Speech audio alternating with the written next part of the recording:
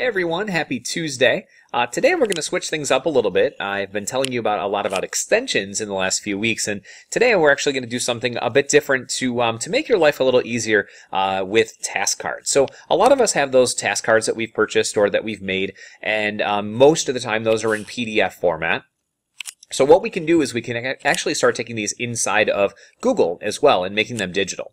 So here's how I would start. I, I have a set of task cards here. I'm just going to show you a quick example. So I'm going to open up my snipping tool on my computer, and if you have a Chromebook, you could do that as well. I'm going to click on New, and we'll go ahead and we'll snip just one of those task cards.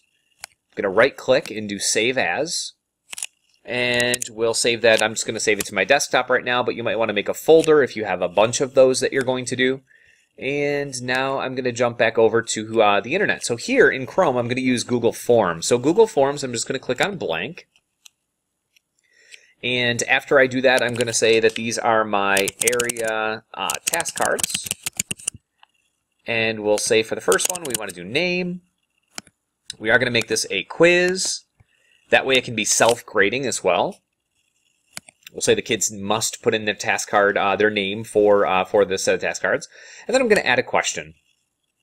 All right, for this one, you can hover over it and you can see the little picture right there. So I'm going to click on that and I'm going to upload from my computer and I'm going to select the task card and it's going to upload that here for me.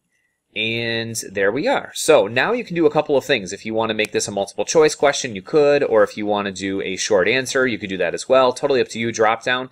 Uh, so then uh, what we could do is we could set up the answer key and we could say that that's a required question. We could insert a few of those inside of there, and then these are going to be totally self-grading. So the kids are going to see how many they got right, how many they got wrong, um, and you also have that option where you could share this directly inside of uh, Google Classroom. So once you have this totally completed, what I would do is I would head over to Google Classroom, I would click inside of my class, and then at that point you could go ahead and you can create an assignment and pull in the uh, area and um, the area task cards that we just created. So you can go ahead and assign that to kids inside of Google Classroom. So I hope that helps. I hope it's just a quick and easy way that you could uh, take something that you have already, like these task cards, and you can make them digital. So we'll see you next Tuesday. I hope that helps. Thanks.